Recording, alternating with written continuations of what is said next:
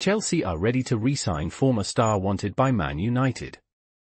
Chelsea are reportedly interested in re-signing Crystal Palace defender Marc Guehi next summer.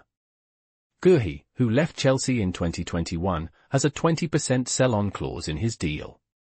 Despite interest from Newcastle United, Palace blocked his exit. Guehi's contract expires in 2026, and he is unlikely to extend it, prompting a potential sale.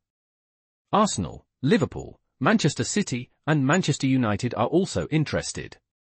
Guehi joined Chelsea's academy in 2007 and played for Swansea City before moving to Palace. Chelsea currently have five senior centre-backs. Please subscribe to my channel.